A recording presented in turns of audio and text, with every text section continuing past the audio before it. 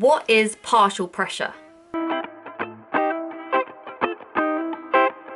Welcome back to my channel. If it's your first time here, my name is Amy and I'm a scuba diving instructor. In the previous video, we discussed how as scuba divers, our environment changes. We also touched on the fact that this affects the gas that we're breathing. Now, in order to understand what's actually happening to our gas, we need to look at the individual components of our breathing mixture. So it's oxygen and nitrogen.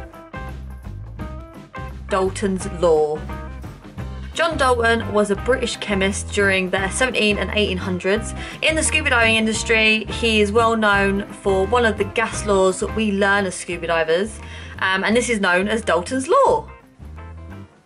I'm not going to read out the gas law to you. But plainly, simply, it, all it means is that the total pressure of a gas, meaning the total pressure of gas in your cylinder, is made up of the pressure exerted by individual gases in that breathing mixture. For example, oxygen and nitrogen again. The equation looks like this, which simply means this. The pressure exerted by these individual gases is known as partial pressure.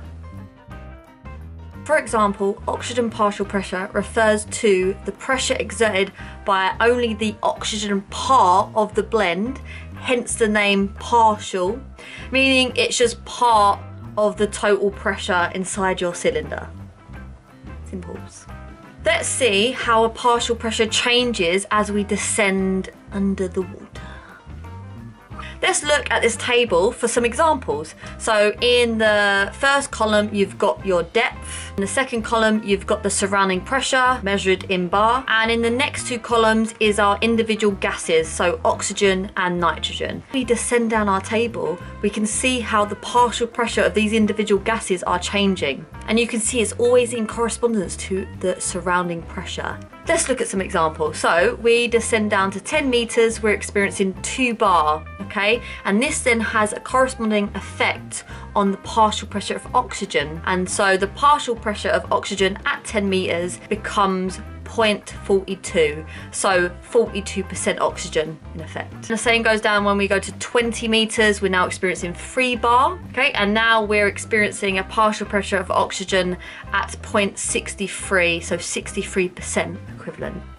A partial pressure of a gas within a breathing mixture can be easily calculated by multiplying the fraction of that gas by the surrounding pressure. So it's important to remember that the amount of gas you take with you is not increasing, but the concentration at which it's given to you is increasing.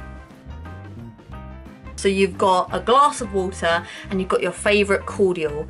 So your glass of water represents your lungs and your cordial represents your gas mixture. So at the surface, we're gonna add a teaspoon of cordial to our glass of water. We then descend down to 10 meters and we're gonna add two teaspoons of cordial to our glass of water. We then go down to 20 meters. We're now experiencing three bar. So we're gonna add three teaspoons of cordial to our glass of water. We go down to 30 meters. We're experiencing four bar so we're gonna add four teaspoons of cordial to our glass of water. So you can see the deeper we go, the stronger in taste your drink is becoming. That's exactly what's happening to your gas mixture. We're making each breath more concentrated due to our surrounding pressure. Thanks so much for watching guys. I hope you learned something and if you have any questions just put it in the comments below. See you next time buddies.